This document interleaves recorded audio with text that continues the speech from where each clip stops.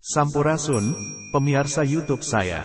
Makam keramat rambut kasih Sakadana, makam Kusumasari dan makam Pujasari Kencana Wangi yang sering oleh masyarakat setempat menyebutnya dengan sebutan Buyut Sawer berada di Dusun Nagrok, Desa Cipamekar, Kecamatan Conggiang, Kabupaten Sumedang.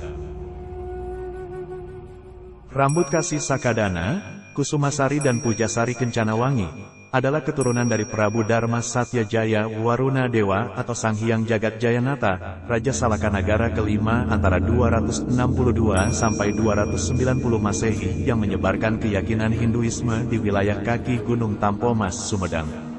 Adapun kuburan-kuburan kuno lainnya yang tersebar di sekitarannya, kemungkinan dari para pengikutnya.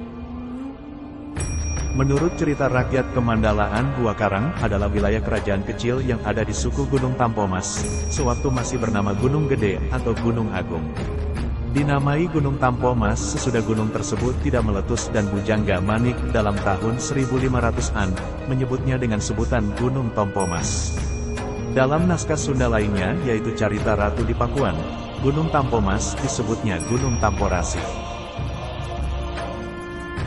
Prabu Dharma Satya Jaya Waruna Dewa atau Sang Hyang Jagat Jayanata, Raja Salakanagara kelima antara 262 sampai 290 Masehi dari istrinya Dewi Sri Nur Cahya, menurunkan 1. Jaya Sampurna atau Jaya Sakti, menyebarkan ajaran kehinduan ke arah selatan Sumedang, situsnya di Kampung Genteng, Kelurahan Pasanggrahan Kecamatan Sumedang Selatan. 2. Indra Sari atau Gajah Handaru atau dalam Tumenggung, menyebarkan ajaran kehinduan ke arah selatan Sumedang, situsnya di Kampung Genteng, Kelurahan Pasanggrahan Kecamatan Sumedang Selatan. 3. Sukmana atau Resi Cupu menyebarkan ajaran kehinduan ke arah selatan Sumedang, situsnya di Pasarean Kelurahan Kota Kulon Kecamatan Sumedang Selatan.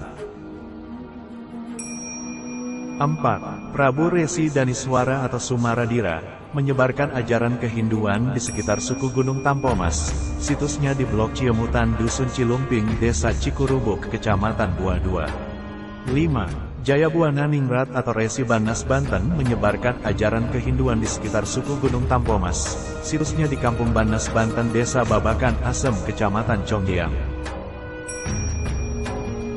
Adanya kuburan-kuburan kuno dan nisan-nisan batu kali kuno tergeletak lainnya yang tersebar di daerah ini adalah makam-makam pada zaman pengiring medal Kamulian pada zaman Salakanagara dan Tarumanegara.